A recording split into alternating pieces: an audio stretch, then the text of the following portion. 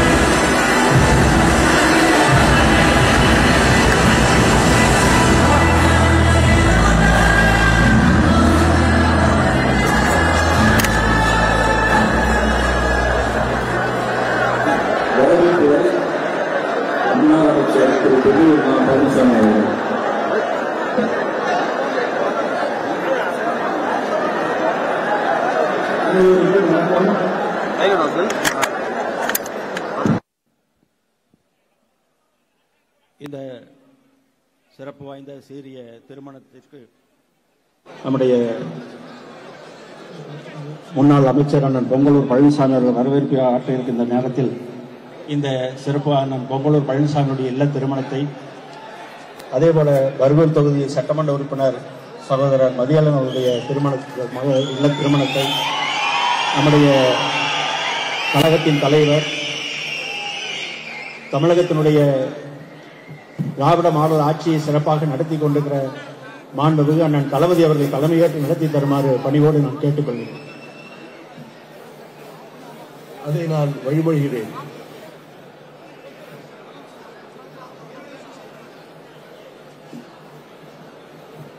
அனைவருக்கும் வணக்கம். உலக தமிழர்களுடைய நெஞ்சில் சிம்மாசனம் போட்டு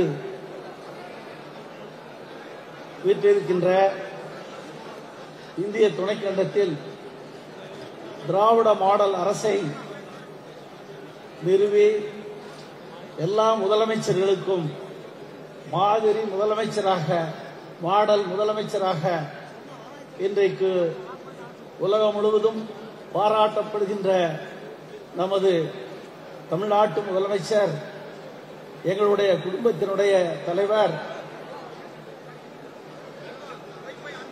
எனது பெருமரியாதைக்குரிய தளபதி அவர்களே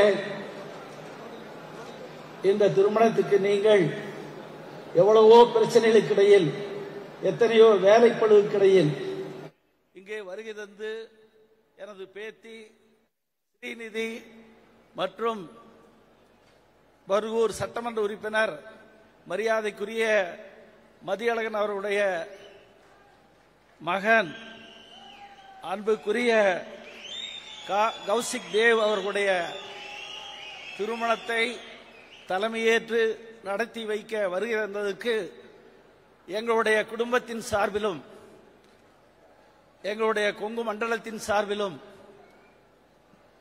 கிருஷ்ணகிரி மாவட்ட கழகத்தின் சார்பிலும் சட்டமன்ற உறுப்பினர் அன்புக்குரிய மதியழன் அவருடைய சார்பிலும் எல்லோரையும் அதே போல இங்கே வருகை தந்திருக்கின்ற அமைச்சர் பெருமக்கள் நேரம் அதிகமாகிவிட்டது. நமது தலைவர் அவர்கள் அவசர வேலையாக சென்னைக்கு செல்ல வேண்டும். ஆகவே அதிகமாக உரையாற்ற முடியவில்லை. இங்கே வருகை தந்திருக்கின்ற அமைச்சர் பெருமக்கள் சட்டமன்ற உறுப்பினர்கள் முன்னாள் இந்நாள் உறுப்பினர்கள் தேர்ந்தெடுக்கப்பட்ட செயலாளர்கள் மற்றும் அத்துணை பேரையும் வருக வருக என வரவேற்கின்றேன். இந்த திருமண நிகழ்ச்சியில கலந்து கொண்டு மடமக்களை வாழ்த்துவதிலே எங்கள் இரண்டு குடும்பத்தாரும் பெருமை கொள்கின்றோம். இந்த அரசுக்கும் உங்களுக்கும் பெருந்துணையாக என்றைக்கும் இருப்போம். நீண்ட நாட்களுக்கு முன்பு நடந்த ஐம்பது ஆண்டுகளுக்கு முன்பு நடந்த எனது திருமணத்தில் ஒரு வார்த்தை சொன்னேன். தலைவர் அவர்களே தலைவர் தான் என்னை திருமணத்தை நடத்தி வைத்தார்கள். ஏழு ஜென்மங்களுக்கும் உங்களுக்கு துணையாக இருப்போம் என்று சொன்னோம். இப்போ மூணு ஜென்மங்கள் ஜென்மங்கள். நான் எனது மகன் இப்போ இந்த பொண்ணு. ஆக இன்னும் இந்த திராவிட முன்னேற்ற கழகத்திற்கும் தலைவருடைய ஆட்சிக்கும் நிரந்தர முதல்வராக நீங்கள் வருவதற்கு நாங்கள் என்றைக்கும் ஒத்துழைப்போம் என்று கூறி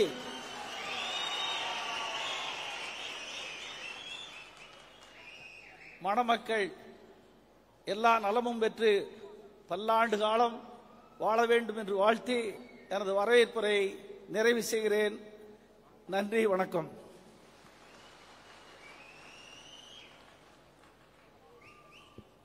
கழகத்தினுடைய சொத்து பாதுகாப்பு குழுவினுடைய துணைத் தலைவர் முன்னாள் அமைச்சர் போட்டுதலுக்குரிய திரு பொங்கலூர் பழனிசாமி அவருடைய இல்லமும் கழகத்தினுடைய இளைஞரணி செயலாளர் இளைஞரணி துணை செயலாளர் அன்பிற்குரிய திரு பைந்தமிழ் பாரி அவருடைய புதல்வியுடைய திருமணத்தை பர்கூர் சட்டமன்ற உறுப்பினர் அன்பிற்குரிய அண்ணன் திரு மதியலனுடைய புதல்வருடைய திருமணத்தை கழகத்தினுடைய ஒப்பற்ற தலைவர் தமிழகத்தினுடைய ஒப்பற்ற முதலமைச்சர் மானு தளபதி அவர்களை தலைமையேற்று திருமணத்தை நடத்தி வைக்குமாறு அனைவர் குடும்பத்தார் சார்பாகவும் அன்போடு கேட்டுக்கொள்கிறோம்.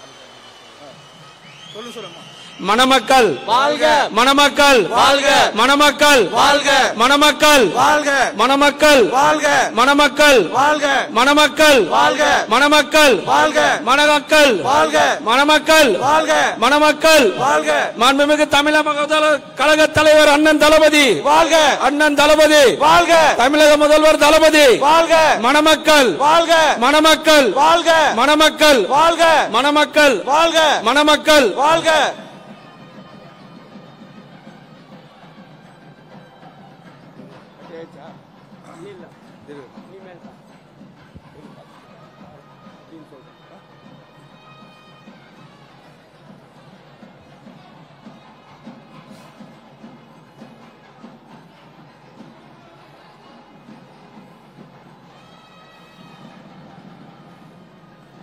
மணமக்கள் வாழ்க. மணமக்கள் வாழ்க. மணமக்கள் வாழ்க. மணமக்கள் வாழ்க. மணமக்கள். வாழ்க. மாண்புமிகு அண்ணன் தளபதியார். வாழ்க. தமிழகத்தினுடைய முதல்வர் அண்ணன் தளபதியார். வாழ்க. தமிழகத்தினுடைய முதல்வர் அண்ணன் தளபதியார். வாழ்க. மாண்புமிகு மணமக்கள். வாழ்க. மணமக்கள். வாழ்க. மணமக்கள். வாழ்க. மாண்புமிகு தமிழக முதல்வர். அண்ணன் தளபதி. வாழ்க. அண்ணன் தளபதி. வாழ்க. தமிழக முதல்வர் அண்ணன் தளபதி. வாழ்க. மணமக்கள். வாழ்க. மணமக்கள். வாழ்க. மணமக்கள். வாழ்க. é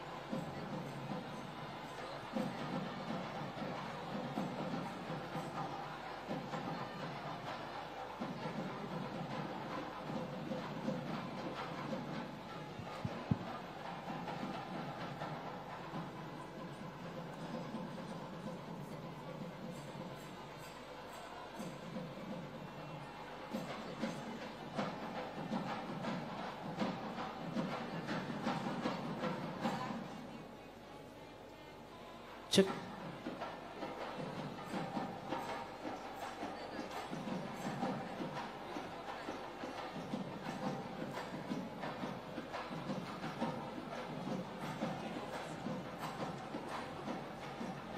மனிதகுல வரலாற்றில் மானிட பரப்பில் தமிழர் எங்கெல்லாம் வாழ்கின்றாரோ அவர்களின் இதய சிம்மாசனத்தில் இடம் பிடித்த மறைந்த மாமனிதர் தன் பேனா முடையில் இருந்து மின்சாரோர் எடிசன். முன்னாள் முதல்வர் கலைஞர் அவர்களின் நல்லாசியோடும் இனிதே நடைபெற்ற இந்த திருமண நிகழ்வுக்கு பர்கூர் சட்டமன்ற உறுப்பினர் அன்பிற்குரிய அண்ணன் திரு மதியழகன் அவர்கள் நன்றி உரையாற்றுவார்கள்.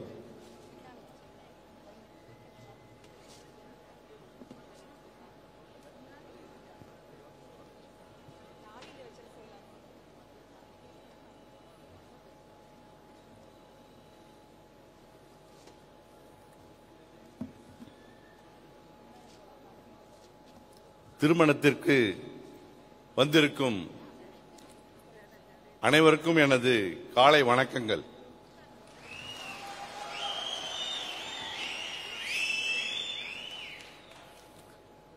இறைவன் எனக்கு வழங்கிய ஆசீர்வாதங்களில் பெரிதாகவும் பெருமையாகவும் நான் கூறுவது கருதுவது மாண்புமிகு தமிழ்நாடு முதலமைச்சர் தளபதியார் தலைமையில் நடைபெறும் எனது மகனின் திருமணமே என்பதை பெருமையோடு கூறிக்கொண்டு எனது நன்றியுரையை ஆரம்பிக்கின்றேன்.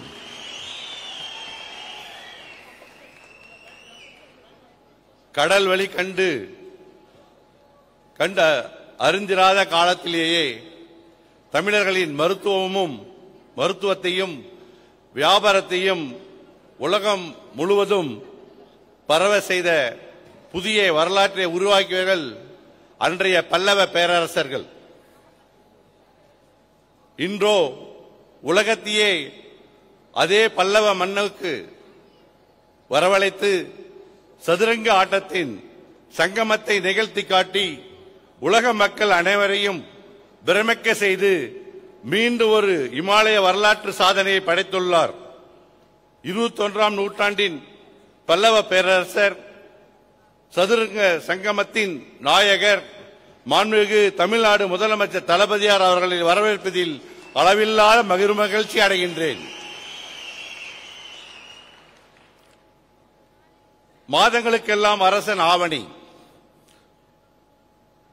ஆவணி மாதம். அந்த ஆவணி மாதத்திலே இந்தியாவில் உள்ள முதல்வருக்கெல்லாம் முதல்வர் கழக தலைவர் முத்துவேல் கருணாநிதி ஸ்டாலின் என்கிற திராவிட பேரரசின் தலைமையில் எனது மகனின் திருமணம் நடைபெறுவதற்கு நான் என்ன புண்ணியம் செய்திருப்போனோ தெரியதில்லை. அதற்கு நான் அவரை பெரும் நன்றி பாக்கியத்தை சொல்ல கடமைப்பட்டிருக்கின்றேன். தளபதியாரிடம் திருமதற்கு அனுமதி கேட்ட மறு வினாடியே எப்பொழுது எந்த தேதிக்கு நான் வர வேண்டும் என்று அவர் கேட்டவுடன் என்னால் உடனடியாக பதில் சொல்ல முடியாமல் ஆனந்த கண்ணீரில் தத்தளித்து மட்டுமின்றி ஒரு அடிமட்ட தொண்டனின் மனதை படித்த மாபெரும் தலைவன் இந்த நூற்றாண்டில் இருக்கிறார் என்றால் அது நமது முதல்வர் தளபதியார் ஒருவரே என்பதை பெருமிடம் தெரிவித்துக் கொள்கின்றேன். நீங்கள் தற்போது தமிழகத்திற்கு ராஜாவாக இருக்கிறீர்கள். ஆனால் ஒட்டுமொத்த இந்திய மக்களுக்கும் எப்போது நீங்கள் இந்தியாவின் மகாராஜராக ஆகப் போகிறீர்கள் என்று எதிர்பார்த்து காத்துக் கொண்டிருக்கிறார்கள் என்பதை ஏக்கத்துடன் பெருமையுடனும் தெரிவித்துக் கொள்கின்றேன். ஒரு நாடு செழிக்க தளபதியார் போன்ற நல்ல அரசர் வேண்டும். இல்லறம் நல்லறமாக கூத்து குலுங்க துர்கா அம்மையார் போன்ற துணைவியார் வேண்டும் என்பதை கூறிக்கொண்டு அவருடைய ஆசீர்வாதம் வழங்கியதை நான் இந்த இடத்தில் குறிப்பிட பெருமைப்படுகின்றேன். நரசிம்மவர்மனின் ஆட்சியை பொற்கோல பொற்கால ஆட்சியாக மாற்றியது மகேந்திரவர்மனின் பங்கு மகத்தானது. அதுபோல நமது திராவிட பேரரசர் தளபதியார் தளபதியார் அவர்களின் பொற்கால ஆட்சியின் திட்டங்களையும் திராவிட கொள்கைகளையும் இன்றைய இளைய தலைமுறைக்கு பரவ செய்து பட்டி தொட்டிகள் எல்லாம் திராவிட மாடல் என்னும் வார்த்தையை கொண்டு சேர்த்த எங்களின் இளைய மன்னவரும் சிந்தவருமான இளைஞரின் எழுச்சி நாயர் உதயநிதி ஸ்டாலின் அவர்கள் வாழ்த்து செய்தி அனுப்பியதை நான் இங்கே பெருமையோடு குறிக்கொள்ள அவருக்கு நன்றி சொல்ல கடமைப்பட்டிருக்கின்றேன்.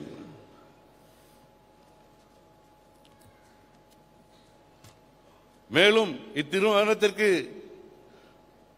சிறப்பித்துள்ள மாண்புமிகு அமைச்சர் பொன்முடிய அன்- உயர்கல்வித்துறை அமைச்சர் அண்டார் அவர்களையும் மாண்புமிகு அமைச்சர் திரு ஈவா வேலு அன்னார் பொதுப்பணித்துறை அமைச்சர் அன்னார் அவர்களுக்கும் மாண்புமிகு திரு காந்தி கைத்துறை மற்றும் துணிநூல் அமைச்சர் அன்னார் அவர்களுக்கும் மாண்புமிகு அமைச்சர் செந்தில் பாலாஜி அன்னார் மது மின்சாரம் மதுவிலக்கு ஆயன- ஆயனத்துறை அமைச்சர் அவர்களுக்கும் மாண்புமிகு அமைச்சர் நாசர் பால்வளைத்துறை அன்னார் அவர்களுக்கும் மற்றும் இங்கே வந்திருக்கின்ற ஏனைய அமைச்சர்கள் அண்ணன் முத்துசாமி அன்னார் அவர்களுக்கும் சாமிநாதன் அன்னார் அவர்களுக்கும் மற்றும் இங்கே வந்திருக்க கயல்வெளி அம்மா அவர்களுக்கும் பொது செயலாளர் அன்னார் அவர்களுக்கும் ஏனைய கழக கண்மணிகளுக்கும் முன்னாள் இந்நாள் சட்டமன்ற உறுப்பினர்களுக்கும் நாடாளுமன்ற உறுப்பினர்களுக்கும் கழக மாவட்ட ஒன்றிய செயலாளர்களுக்கும் கழக அனைத்து நிர்வாகிகளுக்கும் கழகத்தின் உயிரான உடன்பிறப்புகளுக்கும் உற்றார் உறவினர்களுக்கும் நண்பர்கள் பொதுமக்கள் அனைவருக்கும் தலை வணங்கி என்னுடைய நன்றிகளை சொல்லி கடமைப்பட்டிருக்கின்றேன். எனது அழைப்பதற்கு இணங்கி கடல் கடலை போல வந்து வாழ்த்துக்களை வழங்கிய அனைத்து கழகங்களின் உடன்பிறப்புகளின் அன்புக்கு தலை வணங்கி எனது நன்றியை மீண்டும் தெரிவித்துக் கொள்ள கடமைப்பட்டிருக்கின்றேன். நன்றி வணக்கம்.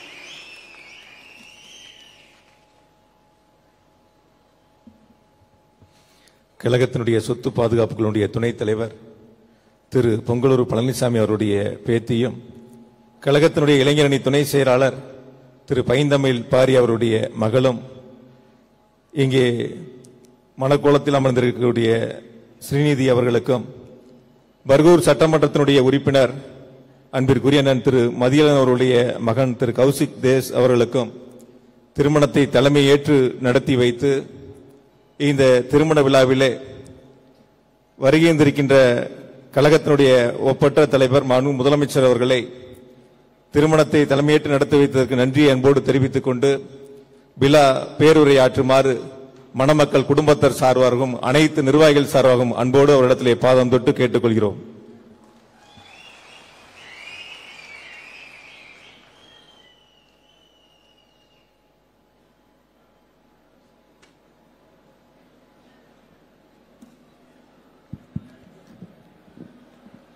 அன்புள்ள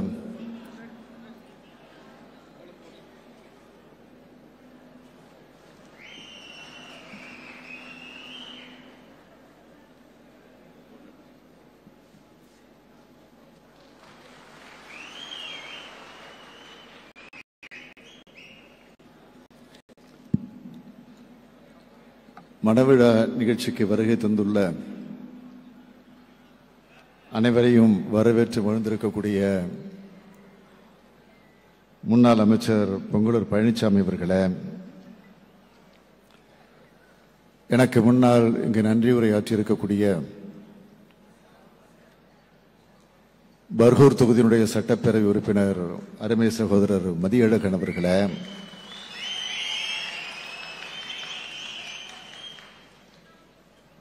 வாழ்த்துறை வழங்குவதற்காக வருகை தந்திருந்தாலும் நேரமில்லா காரணத்தால் அந்த வாய்ப்பை இழந்த நிலையில் ஆனால் அதே நேரத்தில் மணமக்களை வாழ்த்திக் கொண்டிருக்கக்கூடிய தமிழக அமைச்சர் பெருமக்கள் பொன்முடி அவர்களே ஏவா வேல் அவர்களே கா. ராமச்சந்திரன் அவர்களே ஆர். காந்தி அவர்களே முத்துசாமி அவர்களே செந்தில் பாலாஜி அவர்களே சாமிநாதன் அவர்களே கயல்விழி செல்வராஜ் அவர்களே நாசர் அவர்களே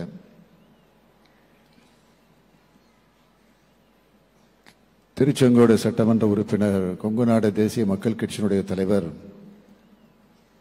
அன்பிற்கினிய ஈஸ்வரன் அவர்களே தமிழ்நாடு பாடநூல் நிறுவனத்தினுடைய தலைவர் திரு லியோனி அவர்களே நம்முடைய நெஞ்சமெல்லாம் நிறைந்திருக்கக்கூடிய இனமான பேராசிரியருடைய அருமை திருமகன் அன்புச்செழியன் அவர்களே வரையை தந்திருக்கக்கூடிய முன்னாள் இந்நாள் சட்டமன்ற நாடாளுமன்ற உறுப்பினர்களே உள்ளாட்சி அமைப்பை சார்ந்திருக்கக்கூடிய பிரதிநிதிகளே ஒன்றிய நகர பேரூர் பகுதி வட்ட கிளையினுடைய செயலாளர்களே மணமக்களுடைய குடும்பத்தை சார்ந்திருக்கக்கூடியவர்களை மணமக்களுடைய உற்றார் உறவினர்களை பெரும் திரளாக திரண்டிருக்கக்கூடிய பெரியோர்களே அன்பிற்கிணைய தாய்மார்களே மணக்கோலம் பூண்டிருக்கக்கூடிய மணமக்களை என் உயிரோடு கலந்திருக்கக்கூடிய நம்முடைய தலைவர் கலைஞர் அவர்களின் உயிரினும் உயிரான அன்பிற்கினிய உடன்பிறப்புகளே உங்கள் அனைவருக்கும் என்னுடைய அன்பான வணக்கம். நம்முடைய முன்னாள் அமைச்சர் திரு பொங்கலூர் பழனிசாமி அவர்களுடைய அருமை பேர்த்தி இளைஞரணியினுடைய மாநில துணை அமைப்பாளர்கள் ஒருவராக இருந்து பணியாற்றிக் கொண்டிருக்கக்கூடிய தம்பி பைந்தமிழ் பாரி அவர்களுடைய அன்பு மகள் ஸ்ரீநிதி அவர்களுக்கும் கிருஷ்ணகிரி மாவட்டத்தைச் சார்ந்த பருகூர் தொகுதியினுடைய சட்டப்பேரவை உறுப்பினர் திரு மதியழகன் திருமதி விஜயா ஆகியோருடைய அன்பு மகன்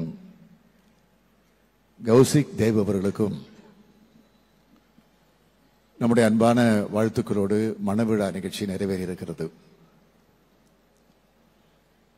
இந்த இனியதொரு மணவிழா நிகழ்ச்சிக்கு தலைமை பொறுப்பு ஏற்று மணவிழாவை நடத்தி வைத்து அதே நேரத்தில் மணமக்களை வாழ்த்தக்கூடிய ஒரு சிறப்பான வாய்ப்பினை பெற்றமைக்கு நான் மிகுந்த மகிழ்ச்சி அடைகிறேன். வரவேற்புரையாற்றிய நம்முடைய பொங்கலூர் பழனிசாமி அவர்கள் உரையாற்றுகிற நேரத்தில் குறிப்பிட்டு சொன்னார். ஆயிரத்தி தொள்ளாயிரத்தி எழுபத்தி ரெண்டாம் ஆண்டு அதாவது ஐம்பது ஆண்டுகளுக்கு முன்னால் அவருடைய திருமணத்தை நம்முடைய தலைவர் கலைஞர் அவர்கள் நடத்தி வைத்திருக்கிறார்கள். அதைத் தொடர்ந்து நம்முடைய பொங்கலூர் பழனிசாமியுடைய அருமை மகன் பைந்தமிழ் பாரி அவர்களுக்கும் தொண்ணூற்றி ஒன்பதாம் ஆண்டு தலைவர் கலைஞர் அவர்கள் தலைமையேற்று திருமணத்தை நடத்தி வைத்திருக்கிறார்கள். தலைவர் கலைஞர் அவர்கள் இன்றைக்கு நம்மிடத்தில் இருந்திருந்தால் இந்த திருமணத்திற்கும் அவர்தான் தலைமையேற்று நடத்தி வைத்திருப்பார்.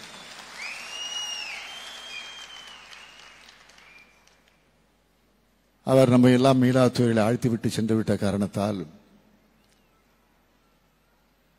இன்றைக்கு அவரிடத்திலிருந்து அவருடைய மகனாக இருக்கக்கூடிய இந்த ஸ்டாலின் இந்த திருமணத்திற்கு வருகை தந்து தலைமையேற்று நடத்தி வைக்கக்கூடிய வாய்ப்பை நான் பெற்றிருக்கிறேன். எப்படி தலைவர் கலைஞரவர்கள் அந்த குடும்பத்தில் வாரிசு வாரிசாக இருக்கக்கூடிய அந்த குடும்பத்தை சேர்ந்தவர்களுக்கு திருமணத்தை நடத்தி வைத்திருக்கிறார்களோ அதேபோல் ஒரு வாய்ப்பு எனக்கும் கிடைக்கும் நிச்சயமாக உருவாகும். அப்படிப்பட்ட திருமணத்திற்கு நான் வருவேன் அந்த திருமணத்தை நடத்தி வைப்பேன். என்ற நம்பிக்கை எனக்கு நிரம்ப இருக்கிறது. நம்முடைய பொங்கலூர் பழனிசாமி அவர்களை பற்றி குறிப்பிட்டு சொல்ல வேண்டும் என்று சொன்னால் அவர்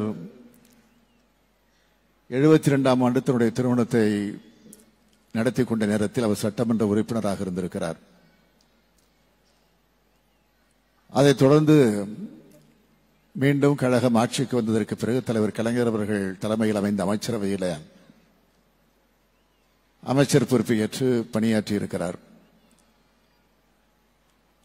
அதேபோல் இந்த மாவட்டத்தினுடைய பொறுப்பாளராக மாவட்டத்தினுடைய செயலாளராக பொறுப்பேற்று பணியாற்றி இருக்கிறார் அதிலும் குறிப்பாக கழகத்திற்கு ஒரு மிகப்பெரிய சோதனை வந்த நேரத்தில் இந்த மாவட்டத்தினுடைய பொறுப்பேற்று பணியாற்றி இந்த க- இந்த மாவட்டத்தில் கழகத்தை கம்பீரமாக நிலைநிறுத்திய பெருமை நம்முடைய பொங்கலூர் பழனிசாமி அவர்களுக்கு உண்டு. ஆக அப்படிப்பட்டவருடைய இல்லத்தில் அவருடைய அருமை பேர்த்திக்கு நடக்கக்கூடிய இந்த திருமணத்தில்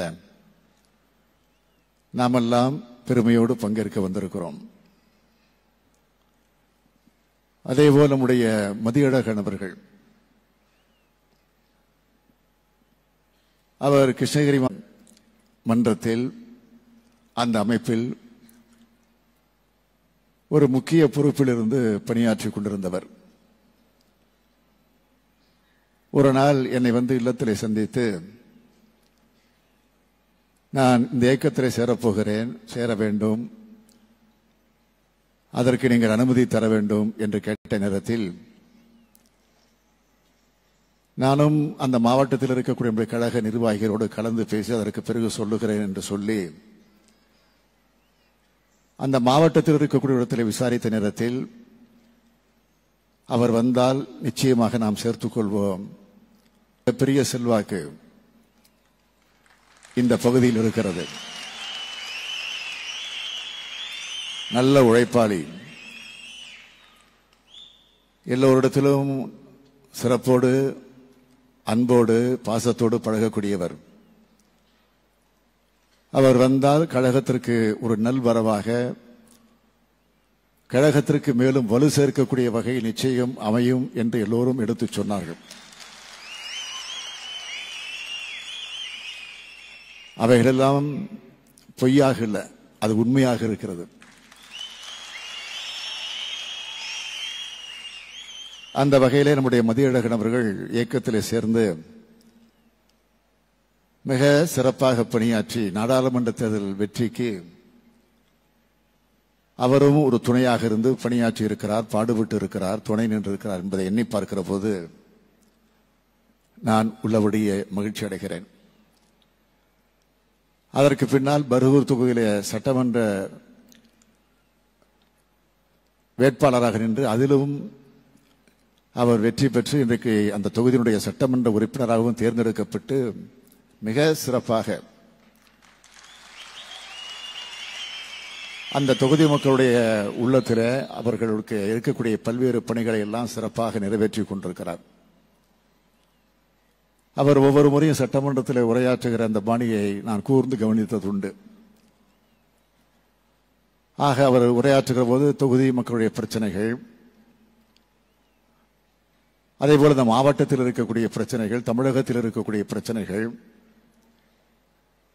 ஒட்டுமொத்தமாக அனைத்தையும் தெளிவாக விளக்கமாக விரிவாக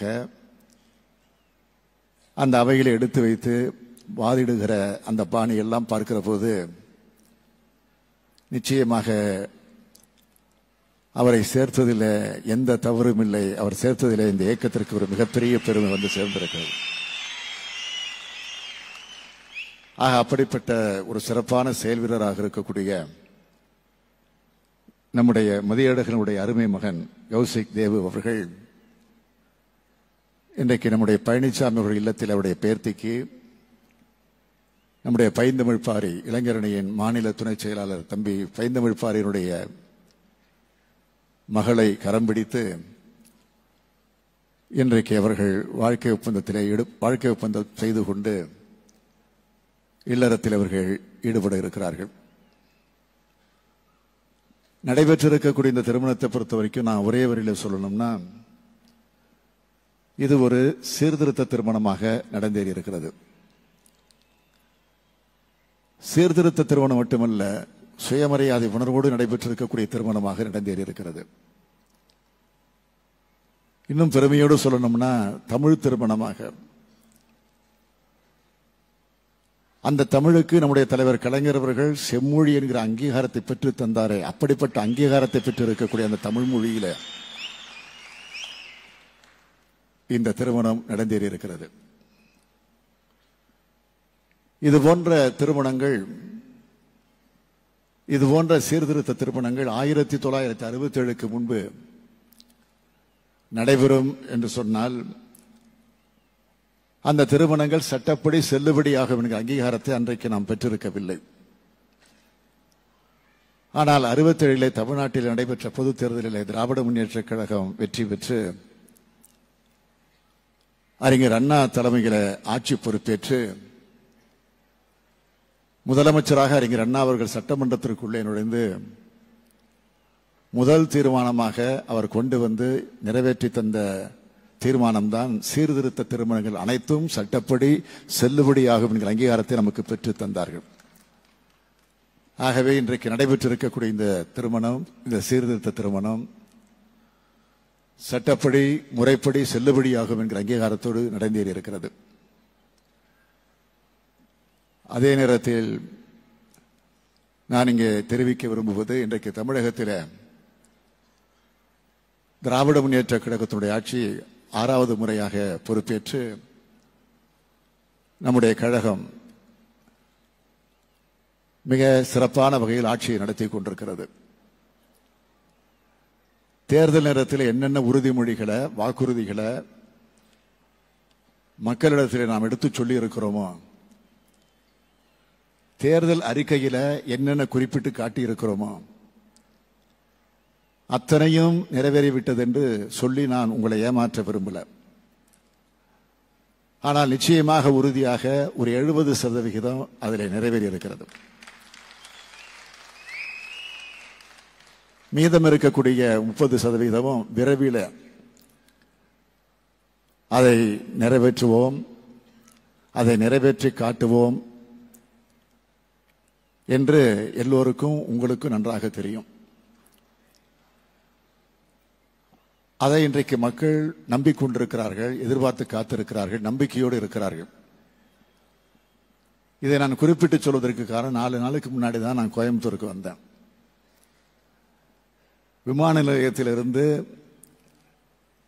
அரசினர் விடுதி செல்லுகிற வரையில் அதுவும் இரவு எட்டு மணி அளவில் புறப்பட்டு விடு விடுதிக்கு செல்லணும். பத்து நிமிஷம் பதினைந்து நிமிஷத்தில் போயிடலாம். ஆனால் மக்கள் தந்த வரவேற்பை நான் பெற்றுக்கொண்டு சென்ற காரணத்தை குறை ரெண்டு மணி நேரம் ஆச்சு நான் போய் சேருவதற்கு. போகிற வழியெல்லாம் சாலையின் இருமுறங்கிலும் பெண்கள் ஆண்கள் முதியவர்கள் இளைஞர்கள் மாற்றுத்திறனாளிகள். ஆக எல்லா தரப்பு மக்களும் இருமுறைகளும் நின்று கொண்டு என்னை வாழ்த்தி வாழ்க வாழ்க என்று கோஷமிட்டு அதே நேரத்தில் ஆங்காங்கு ஒரு சிலர் மனுக்களையும் கொடுத்து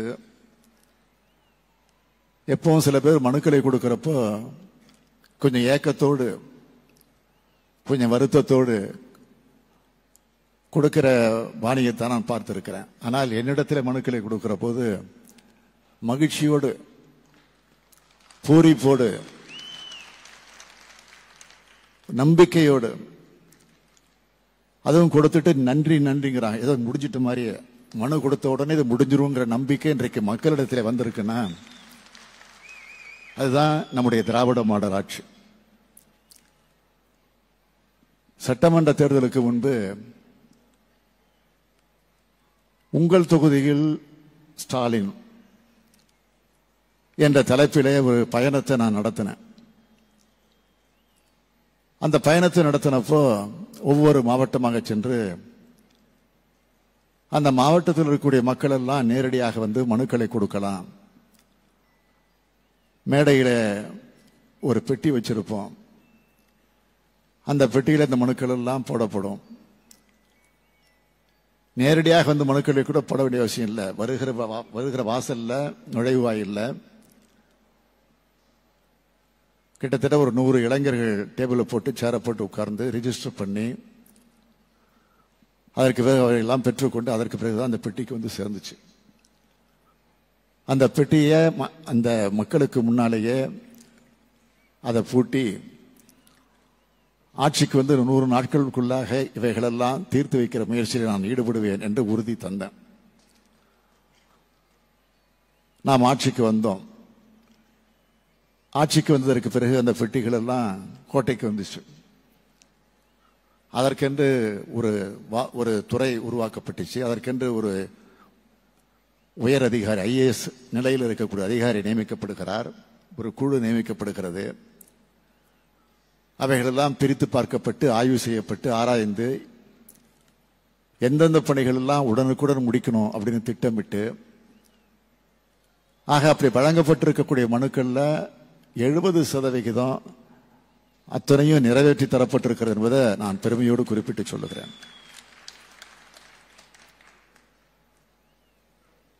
அதற்கென்று ஒரு இலாக்கா அதற்கென்று ஒரு அதிகாரி ஒரு கண்ட்ரோல் ரூமே வச்சிருக்கிறோம். நான் அடிக்கடி அந்த இடத்துக்கு போய் ஆய்வு செய்வது உண்டு.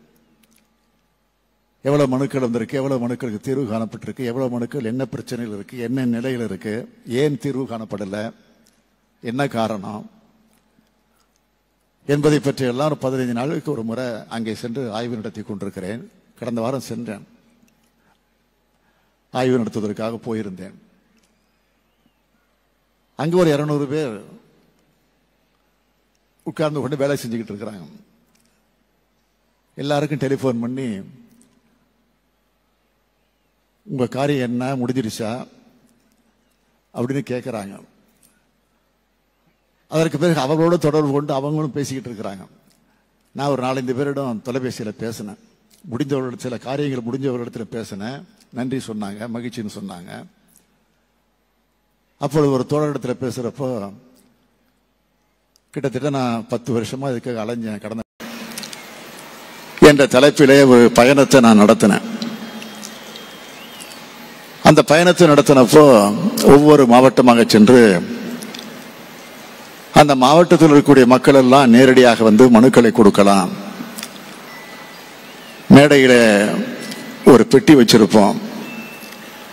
அந்த பெட்டியில் இந்த மனுக்கள் எல்லாம் போடப்படும். நேரடியாக வந்து மனுக்களை கூட போட வேண்டிய அவசியம் இல்லை. வருகிற வா- வருகிற வாசல்ல நுழைவாயில்லை. கிட்டத்தட்ட ஒரு நூறு இளைஞர்கள் டேபிளில் போட்டு சேரை போட்டு உட்கார்ந்து ரிஜிஸ்டர் பண்ணி அதற்கு பிறகு அவரையெல்லாம் பெற்றுக்கொண்டு அதற்கு பிறகு தான் அந்த பெட்டிக்கு வந்து சேர்ந்துச்சு. அந்த பெட்டியை ம- அந்த மக்களுக்கு முன்னாலேயே அதை பூட்டி ஆட்சிக்கு வந்து நூறு நாட்களுக்குள்ளாக இவைகளெல்லாம் தீர்த்து வைக்கிற முயற்சியில் நான் ஈடுபடுவேன் என்று உறுதி தந்தேன். நாம் ஆட்சிக்கு வந்தோம். ஆட்சிக்கு வந்ததற்கு பிறகு அந்த பெட்டிகள் எல்லாம் கோட்டைக்கு வந்துச்சு. அதற்கென்று ஒரு வா- ஒரு துறை உருவாக்கப்பட்டுச்சு. அதற்கென்று ஒரு உயர் அதிகாரி ஐஏஎஸ் நிலையில் இருக்கக்கூடிய அதிகாரி நியமிக்கப்படுகிறார். ஒரு குழு நியமிக்கப்படுகிறது. அவைகளெல்லாம் பிரித்து பார்க்கப்பட்டு ஆய்வு செய்யப்பட்டு ஆராய்ந்து எந்தெந்த பணிகள் எல்லாம் உடனுக்குடன் முடிக்கணும் அப்படின்னு திட்டமிட்டு ஆக அப்படி வழங்கப்பட்டிருக்கக்கூடிய மனுக்களில் எழுபது சதவிகிதம் அத்தனையும் நிறைவேற்றி தரப்பட்டிருக்கிறது என்பதை நான் பெருமையோடு குறிப்பிட்டு சொல்லுகிறேன்.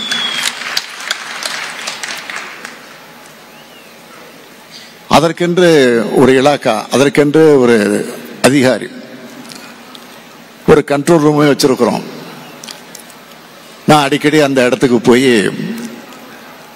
ஆய்வு செய்வது உண்டு. எவ்வளவு மனுக்கள் வந்திருக்கு எவ்வளவு மனுக்களுக்கு தீர்வு காணப்பட்டிருக்கு எவ்வளவு மனுக்கள் என்ன பிரச்சனைகள் இருக்கு என்ன நிலையில் இருக்கு ஏன் தீர்வு காணப்படல என்ன காரணம் என்பதை பற்றி எல்லாரும் பதினைந்து நாளுக்கு ஒரு முறை அங்கே சென்று ஆய்வு நடத்தி கொண்டிருக்கிறேன். கடந்த வாரம் சென்றேன். ஆய்வு நடத்துவதற்காக போயிருந்தேன். அங்கு ஒரு இருநூறு பேர் உட்கார்ந்து கொண்டு வேலை செஞ்சுக்கிட்டு இருக்கிறாங்க. எல்லாருக்கும் டெலிஃபோன் பண்ணி உங்கள் காரியம் என்ன? முடிஞ்சிருச்சா அப்படின்னு கேட்குறாங்க அதற்கு பிறகு அவங்களோட தொடர்பு கொண்டு அவங்களும் பேசிக்கிட்டு இருக்கிறாங்க. நான் ஒரு நாலஞ்சு பேரிடம் தொலைபேசியில் பேசினேன். முடிந்தவர்கள சில காரியங்கள் முடிஞ்சவர்களிடத்தில் பேசினேன். நன்றி சொன்னாங்க மகிழ்ச்சின்னு சொன்னாங்க. அப்பொழுது ஒரு தோழரிடத்தில் பேசுகிறப்போ கிட்டத்தட்ட நான் பத்து வருஷமாக இதுக்காக அலைஞ்சேன். கடந்த கால ஆட்சி நடக்கலை. பத்தே நாட்களில் உங்கள் ஆட்சி வந்ததற்கு பிறகு பத்தே நாட்களில் நான் நினைச்ச காரியம் முடிஞ்சிருச்சு அந்த இடத்தினுடைய பேரை மாற்றி என் பேரை எழுதி கொடுத்துட்டாங்க. மகிழ்ச்சி. ரொம்ப நன்றி ரொம்ப நன்றி. முதலமைச்சராக இருக்கக்கூடிய நீங்களே பேசுவது நான் எதிர்பார்க்கவே இல்லை அப்படின்னு சொல்லி ஒரு பூரிப்போட பேசினார். அது குறித்து ம- அடுத்த நாள் தொலைக்காட்சியில் ஒரு பேட்டி வருகிறது. அவர் இடத்துல ஒரு சிறப்பு பேட்டி எடுக்கிறாங்க. அதை உட்காந்து நானும் பார்த்தேன். அதுக்கு ஒரு வாய்ப்பு கிடைச்சது. நான் பார்த்துக்கிட்டு இருந்தேன். அவர் அந்த சம்பவத்தை சொல்றாரு. இத்தனாம் தேதி முதலமைச்சர் தொலைபேசியில் பேசினார். பத்து வருஷமா முடியாத ஒரு காரியத்தை பத்து நாட்களில் முடிஞ்சிருச்சு.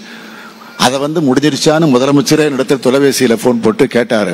தொலைபேசியில் கே கான்டாக்ட் பண்ணி கேட்டார். அப்படின்னு மகிழ்ச்சியோட சொல்கிறாரு இதெல்லாம் சொல்லிட்டு இன்னொன்று சொன்னார். இன்னொரு விஷயம் நான் அவர்கிட்டையும் சொல்லலை. அதை சொன்ன அவரே ஆச்சரியப்பட்டிருப்பாரு.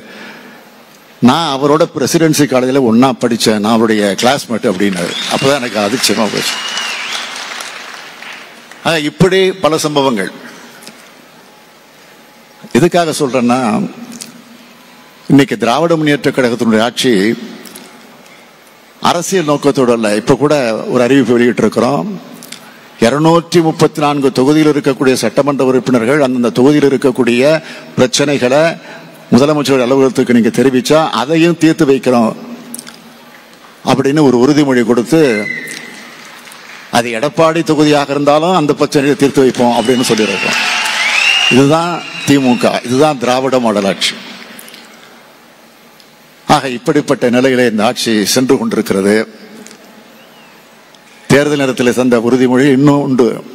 அதில் முக்கியமாக எதுன்னு சொன்னீங்கன்னா முன்னாள் முதலமைச்சர் அம்மையார் ஜெயலலிதாவுடைய மறைவு. அது ஒரு சஸ்பென்ஸாகவே நம்ம சொல்லலை. அவங்க கட்சிக்குள்ளேயே சொன்னது. அன்னைக்கு முதலமைச்சராக இருந்தவர் அதற்கு துணை முதலமைச்சராக இருந்தவர். அந்த கட்சியில ஒரு மிக மிகப்பெரிய பொறுப்பில் இருக்கக்கூடியவர் அம்மையார் எப்பெல்லாம் அந்த பதவியிலிருந்து விலகுற விலகிறாங்களோ அவங்க நீக்கி வைக்கிறாங்களோ நீதிமன்ற தீர்ப்பு வருதோ அப்பெல்லாம் முதலமைச்சராக இருந்து பணியாற்றியவர். ஓ பன்னீர்செல்வம் அவர்கள். அவர்களுக்குள்ள ஏற்பட்ட பிரச்சனைகளை அவர் கோபத்தோடு ஆத்திரத்தோடு அந்த அம்மையாருடைய நினைவிடத்தில் போய் உட்கார்ந்துக்கிட்டு ஆவியோட பேசுகிறேன் அப்படின்னு போய் உட்கார்ந்தாரு. அங்கே போய் தியானம் பண்ணார். நீதி கேட்டார். ஆக இப்படியெல்லாம் நடந்துச்சு உங்களுக்கு தெரியும். அந்த அம்மையாருடைய மரணத்தில் ம- மர்மம் இருக்குன்னு அவரே சொன்னார்.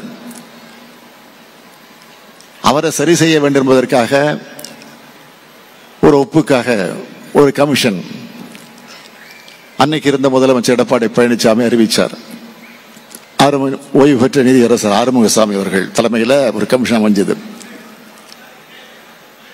ஆக அந்த கமிஷன் எவ்வளவு வருஷம் நடந்துச்சுன்னு உங்களுக்கு தெரியும்.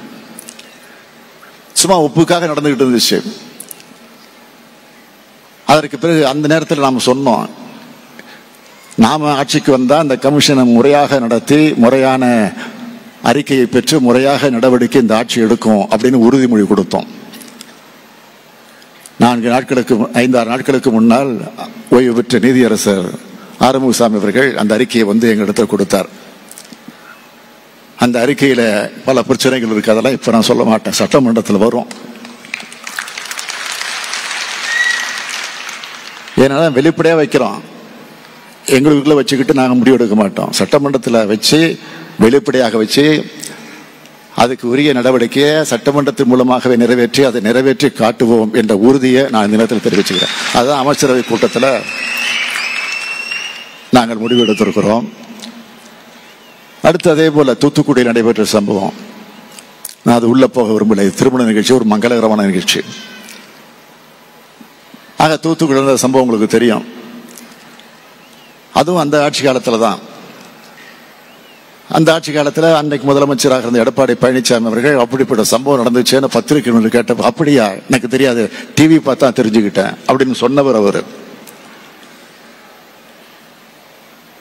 ஆக அந்த ரிப்போர்ட் அந்த அறிக்கை ஓய்வு பெற்ற ஒரு நீதியரசர் அவருடைய அறிக்கை அதுவும் ஒரு மாத காலத்திற்கு முன்பு இடத்திலே கொண்டு வந்து கொடுத்தார்கள். அதுவும் விவாதிச்சோம் சட்டமன்றத்தில். அதனுடைய விவ- அதனுடைய அந்த விவகாரங்கள்லாம் சட்டமன்றத்தில் வைக்க இருக்கிறோம். எதுக்காக நான் சொல்றேன்னா சட்டமன்றத்தில் என்னென்ன உறுதிமொழிகளை வாக்குறுதிகளை கொடுத்தோமோ அவைகள் எல்லாம் தொடர்ந்து நிறைவேற்றி கொண்டிருக்கக்கூடிய ஆட்சி தான் திராவிட மாடல் ஆட்சியாக இருக்கக்கூடிய நம்முடைய ஆட்சி. ஆனால் இன்னைக்கு எதிர்க்கட்சி தலைவராக இருக்கக்கூடிய முன்னாள் முதலமைச்சர் எடப்பாடி பழனிசாமி அவர்கள் உறுதிமொழிகளை தேர்தலில் தந்த வாக்குறுதிகள் எதையும் நிறைவேற்றலை நிறைவேற்றலைன்னு சொல்லிக்கிட்டு இருக்கிறாரு. நாங்கள் நிறைவேற்றி கொண்டிருக்கிறோம் என்பதற்கான எடுத்துக்காட்டுகளை தான் நீங்கள் குறிப்பிட்டு சொல்லியிருக்கிறேன். இன்னைக்கு பேருந்துகளில் பெண்கள் இலவசமாக பயணம் செய்யக்கூடிய அந்த திட்டத்தை நாங்கள் வந்தால் நிறைவேற்றுவோம் என்று தேர்தல் நேரத்தில் சொன்னோம். வந்தவுடன் முதல் கையெழுத்து போட்டது அந்த கையெழுத்து தான். அதுதான் நிறைவேற்றப்பட்டிருக்கு. முட்டை இது பால் விலையை குறைச்சோம் பெட்ரோல் விலையை குறைச்சோம் தந்த உறுதிமொழிகள். பிறகு ஐந்தாம் தேதி டெல்லியினுடைய முதலமைச்சர் கெஜ்ரிவால் அவர்கள் தமிழ்நாட்டுக்கு வர்றாரு. எதுக்குன்னு கேட்டால் ஸ்மார்ட் ஸ்கூல் ஸ்மார்ட் கிளாஸ் அப்படின்னு நம்ம அரசு மாநகராட்சியினுடைய பள்ளிகளை தரம் உயர்த்துவதற்கு ஒரு திட்டம் போட்டிருக்கிறோம். டெல்லிக்கு நான் போனப்போ அதை பார்த்துட்டு வந்தேன். அதை தொடங்கி வைக்க வர வேண்டும் என்று கேட்டிருக்கிறேன். வரக்கூடிய அதே நேரத்தில் தான்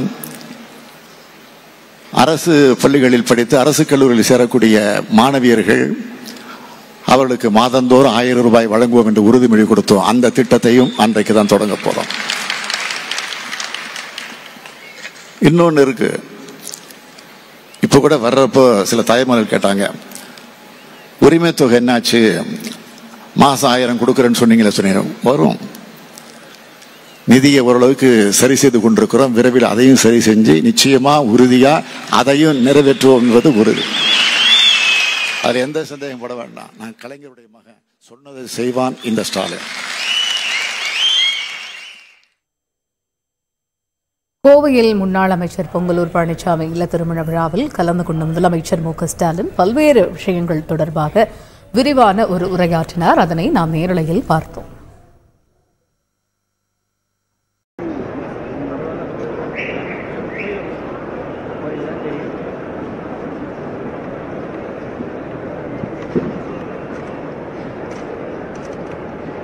கிளம்பிட்டாரு கிளம்பிட்டாரு அவ்வளோதானா